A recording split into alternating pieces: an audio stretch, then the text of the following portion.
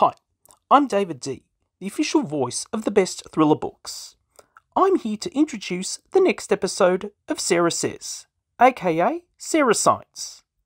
Today, Sarah asks Do you have a book or a series from your childhood that you would read as an adult? No one asked me, but I would say the early Hardy Boys case files. Anyway, here's Sarah.